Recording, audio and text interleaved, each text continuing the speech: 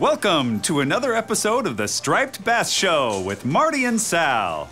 Who are you talking to? Today's topic triglycerides. Can everyone say triglycerides? Nice job. Hey, Sal, speaking of triglycerides, did you know a healthy diet with less sugar can be a great way to help lower them? Yeah, I told you that.